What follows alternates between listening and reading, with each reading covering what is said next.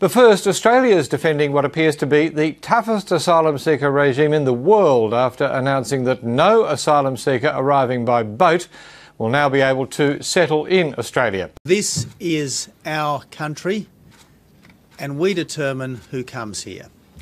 The smugglers haven't given up, and this government will never give up. Border Protection Command is doing things differently. Tony Abbott is calling the flow of boats to Australia a crisis on Australian borders and a national emergency. He says what's needed is a military approach, and he's calling his concept Operation Sovereign Borders. Attached to drum lines, 72 hooks will be deployed at eight beaches across the state in the coming weeks. Uh, the government has taken this measure after long consideration. It wasn't a, a knee jerk reaction. We've been looking at this for some time. The drum lines will be set at two designated kill zones, one stretching from Quinns Beach to Warnbro, the other from Geographe to Margaret River. We straighten the hook out and escape, so we've gone to a bigger hook. We have had some experiences where we use anchors.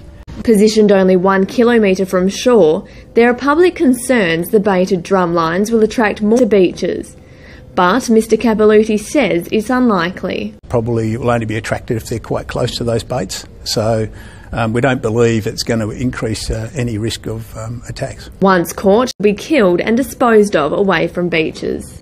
Obviously, the, the, the government's very, very keen to make sure that these treated humanely if they're going to be destroyed and that the best practice is maintained. The Immigration Minister has travelled to PNG and declared the Manus Island facility will be suitable. I have no doubt at all that a processing centre here on Manus uh, can operate even with a, a, a significantly increased capacity. It's estimated that more than 1,000 asylum seekers have died in or near Australian waters. Well, I'm encouraged by this. I am not complacent. There is more to be done. It's a hardline policy that has shocked many in Australia and overseas, but the government is making no apology for it. Blues explain. Explain. What's that?